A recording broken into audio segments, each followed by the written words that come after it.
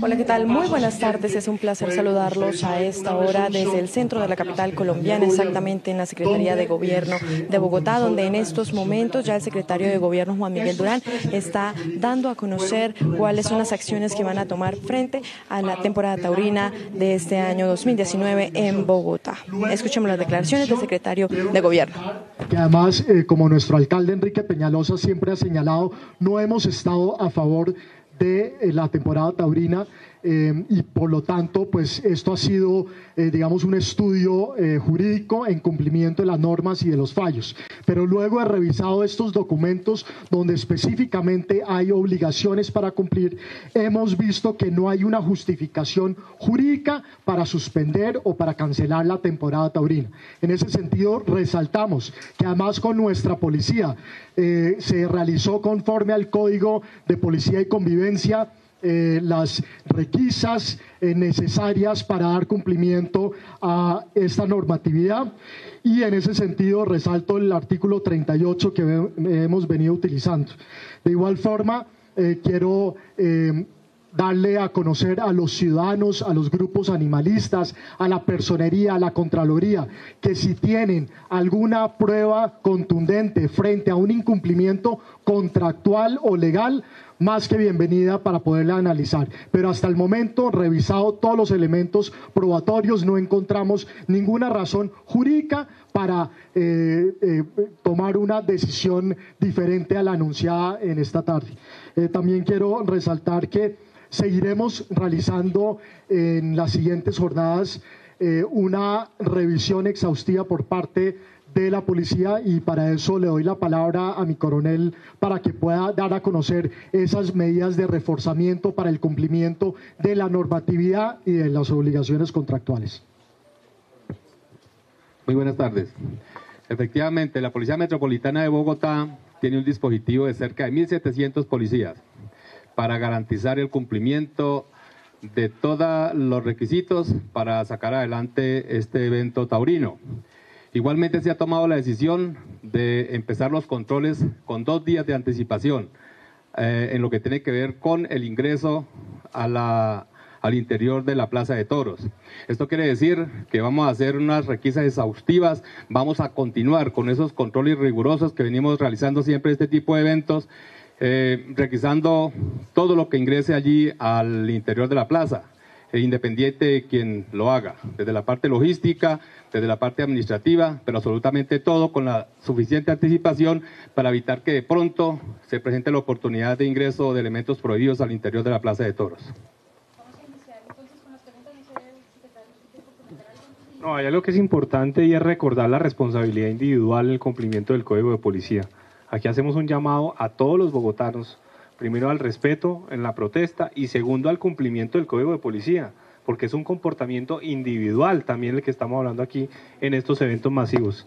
Así que, como lo ha mencionado el coronel, como lo ha mencionado nuestro secretario de Gobierno, seguiremos haciendo los controles pertinentes para garantizar el normal cumplimiento del evento, pero hacemos ese llamado a los bogotanos para mantener un estricto cumplimiento de las condiciones con las cuales se, se va a desarrollar este evento.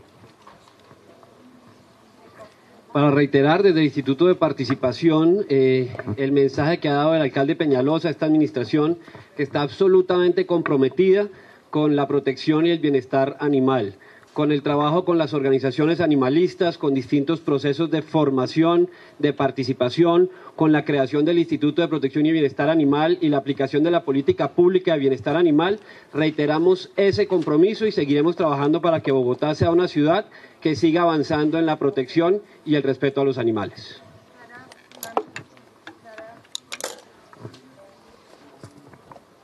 Bueno, no, eh, recalcar el, el, el, talante que hemos tenido en la ciudad de Bogotá de defensa y de protección de los animales.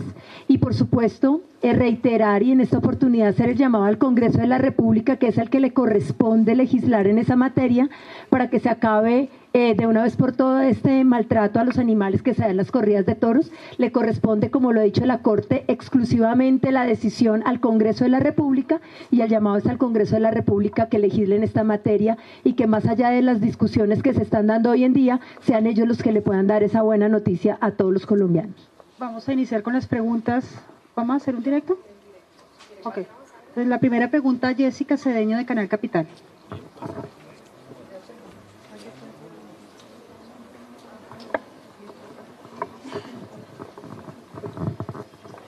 Buenas tardes para todos, en directo para Capital Noticias.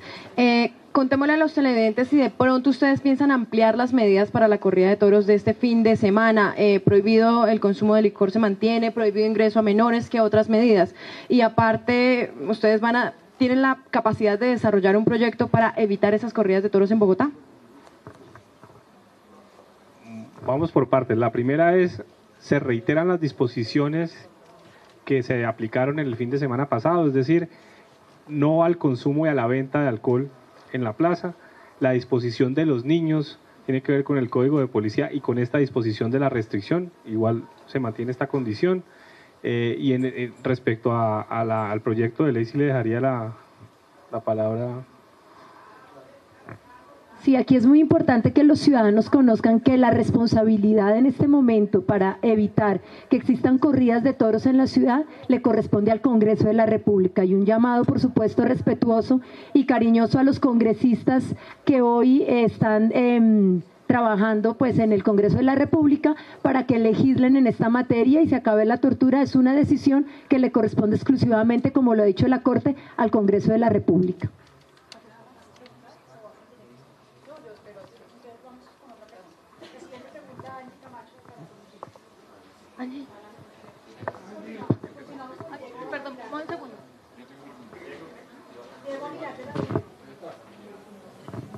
Buenas tardes.